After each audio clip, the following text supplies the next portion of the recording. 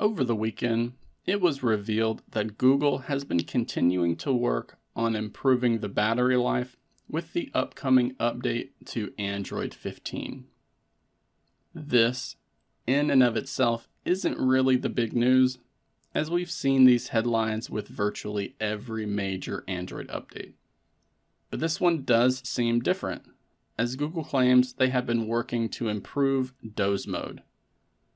For those who may not be familiar, doze mode is a feature introduced in Android 6.0 Marshmallow. Doze mode is a power management scheme in Android that triggers a low power state if the phone is locked and determined to not be physically handled by someone. When this feature is active, background data processing is restricted so that only high priority applications and their notifications can be processed. This will also delay network access for most apps too, so that your battery life isn't being used for those frivolous tasks. And Android 15 will be introducing a major update to doze mode that is said to be able to increase standby time to up to three hours with certain devices. The company says they were able to achieve this by speeding up the time in which it took for doze mode to become activated by the operating system, as Android 15 should increase this activation time by 50%. This means that devices with Android 15 installed should enter doze mode 50% faster than devices with Android 14 installed. This additional three hours of standby time won't be present across all devices, and I do wish we knew which device Google had tested to come to this conclusion.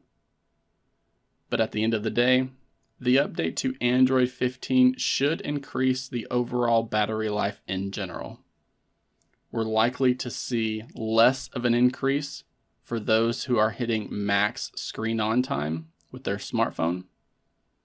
But for anyone who has their phone locked for the majority of the day, they should see the most benefit from the update to Android 15.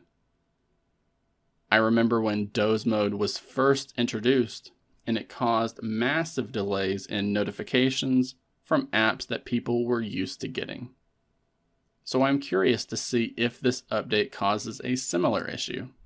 But I suspect not, since doze mode is already a thing.